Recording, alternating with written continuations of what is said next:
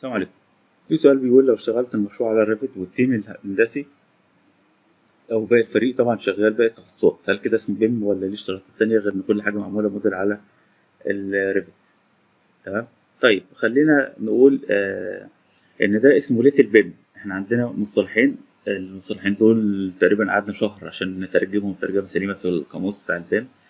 آه little BIM و big BIM little BIM و big BIM طبعا الترجمة البسيطة big ال BIM الكبير وال BIM الصغير بس هي مش كده. وجبنا كتاب اسمه Big BIM and Little BIM اسم كتاب كده. آه، قريناه كله عشان نعرف نترجم الترجمة الصحيحة. ف little BIM هي BIM ذات قدرات محدودة مش كامل. و big BIM BIM آه، ذات قدرات فائقة. آه، ال BIM ذات القدرات الفائقة يبقى كله شغال BIM. فأنا هقدر أعمل coordination هقدر أعمل حصر هقدر أشوف المبنى بشكل كويس. إنما ال little BIM غالبا بيبقى المعماري هو اللي عمل ال BIM والكهروميكانيكال مش عامل فما بت- ما بتستفادش بقوة ال BIM ما بتقدرش تعمل coordination تمام؟ في في غلطات كتير هتظهر. وهكذا. يعني من كام يوم كان حد بيسألني آه آه، إحنا قبل ال BIM كنا بنشتغل إزاي؟ يعني بقول ال BIM بكذا فلا يا عم إحنا عايزين نوفر. آه قبل ال BIM كنا بنشتغل إزاي؟ قلت له كنا بنلبس في الحيط. يعني كنت بعد ما تعمل الكاميرات والأعمدة والحاجات دي كلها تكتشف إن في آه، ضغط مش عامل حسابه فتضطر تكسر في الكاميرا فتضطر تعمل إعادة احمال تاني وتبدأ تكبر الأعمدة وتبدأ تشوف نظام انشاء تاني. كانت مصايب سودة. تمام؟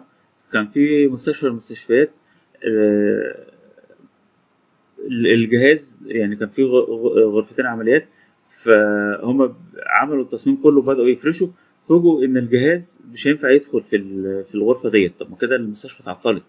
صاحب المستشفى جه وشتم وعمل وبتاع خلاص اتبنت. تمام؟ بس ما كانوش عاملين حسابهم في الفرنتشر أو في الأجهزة اللي هتبقى موجودة. فبعتوا وقعدوا يشوفوا الشركات ولو شركة عاملة حاجة أوطى تنفع تتركب بس اغلى الضعف يعني. هي قصيره أي نعم بس اغلى الضعف ف- فاضطروا إن هم يدفعوا الضعف وإلا هيضطروا مثلا يكسروا حاجات يكسروا ال ceiling ويخلوا المكنة تدخل.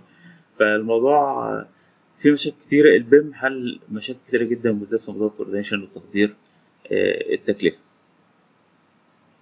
طيب لو اشتغلت مشروع كده مشروع BIM أكيد ال BIM قيمته أعلى بالنسبة للعميل. لو مش فاهم مش هيفرق معاه اتكلم معاه إزاي؟ لأن أكيد آه، اقنعه. يعني أنت تبدأ تشوف العميل ده مثلا وري له المزايا وري له إن مثلا مشروع أنت اشتغلت فيه كان في مشاكل كتيرة واتحلت. في ال BIM أثناء ال design مش في مرحلة ال coordination.